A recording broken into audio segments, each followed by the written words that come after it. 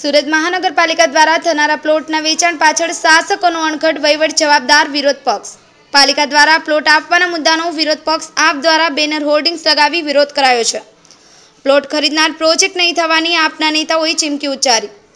સુરત મહાનગરપાલિકા દ્વારા શહેરના અલગ અલગ વિસ્તારોમાં પ્લોટ નવ્વાણું વર્ષની લીઝ પર આયોજન કરવામાં આવ્યું છે. જેનો વિરોધ પક્ષ દ્વારા ભારે વિરોધ કરવામાં આવી રહ્યો છે.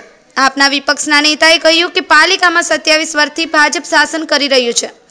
શાસનની અણાવડતના કારણે જનતાની કરોડોની સોનાની લગડી જેવી જમીનો વેચવાની નોબત આવી છે.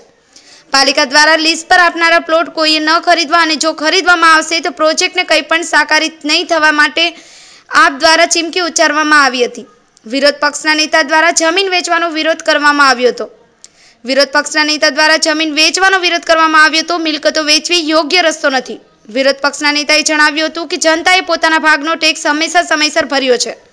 એના ફળ સ્વરૂપે એક સમય એવો પણ હતો કે સુરત મહાનગરપાલિકાના જકાતના અબજો રૂપિયા ડિપોઝિટ રૂપે જમા રહેતા હતા.